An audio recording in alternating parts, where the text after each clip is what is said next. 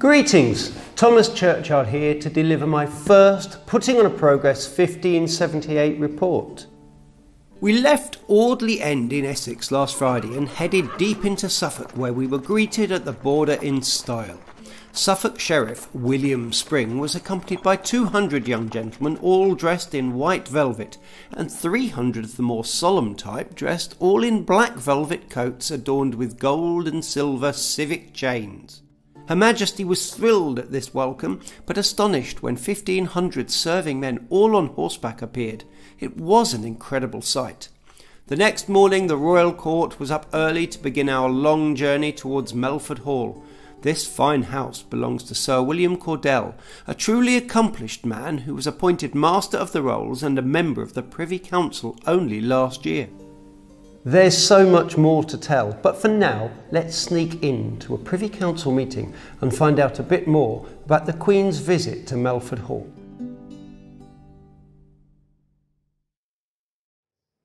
I cannot have court gossip about the French ambassador joining us on this progress, and I will not have the ladies of the court tittle-tattling about my likely marriage to the French Duc d'Alençon. Majesty, yes, your ladies of the chamber must Respect your caution whilst marriage negotiations continue. If this reaches the ears of the Scottish ambassador, it will reach the ears of my cousin Queen Mary, and from there her Highlander assassins will be at my bedchamber. My eyes and ears are everywhere. We care deeply for your safety, Majesty. My people are reporting daily.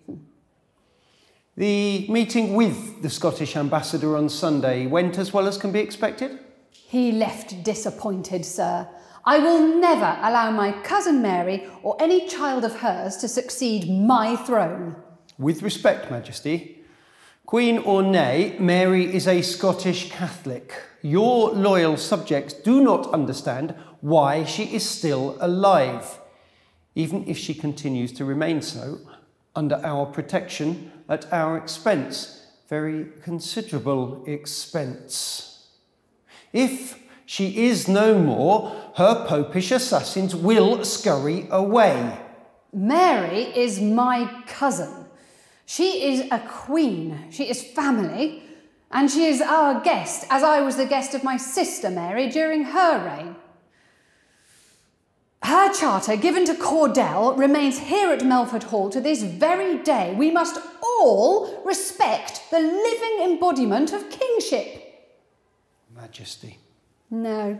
My French marriage will see the Scottish Queen continue to draw breath. My children will protect the English throne, and the French will secure loyalty in the Netherlands.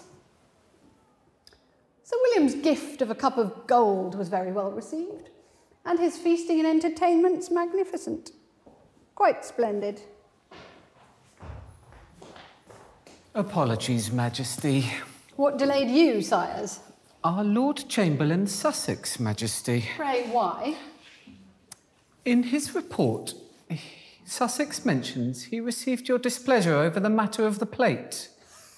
Such bickering over the quality of my silver plate. It warranted the abuse. Such trifles will reach the ears of Mendoza, Majesty. Mendoza, the Spanish ambassador, is nothing but a blabber merchant. Yet finer plate has been ordered from London.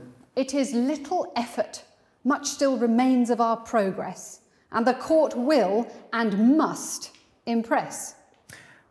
Our reception here has been welcomed and honoured, though. Despite the Earl of Oxford. And what has he done to warrant your wrath, Majesty? You know full well what he's done, Leicester. He refused to dance for the French ambassadors, preferring instead to try and impress the Spanish envoys. It was embarrassing. He is a concern, Majesty. As you know, he troubles my daughter Anne. Their marriage remains unsettled despite my every effort to reconcile them. Dear Cecil, you have a good heart, and it swells large for your children. Enough of my foolish courtiers. Bring me news of something else. We have had word from the Low Countries concerning the Duke d'Alençon. Ah, my Duke. How goes he there? It is rumoured that the Duke is considering a Dutch marriage. Ah, well, I understand. He will simply be calculating his political advantage. I will send couriers to the Dutch state with letters for those who seek the truth rather than rumour. What say you, Leicester? Majesty, continue to support the Dutch, is my advice. Finance is desperately needed to hold the Spanish at bay, even if it does bring the Duke closer to our crown than is wanted. Our crown? I am wanted. My future marriage and children will bring peace to my people, and the French will be loyal in defending the Netherlands. So you do accept the Duke's marriage settlement? I then? said enough, Robin! Good grief, Leicester. When will you curb your tongue and heart? Our Queen is taken with the Duke. We are simply her counsel, not her father. He is not serious in his affections for her, only for her throne, and to steer the course of our religion back to the old Catholic religion. I too have my doubts about his sincerity. Gentle. As her subjects and her counsel, we seek only her happiness. Our Queen must be eased gently towards a realistic resolution of these matters. On this subject, we shall speak another day, gentlemen. My My lord. lord.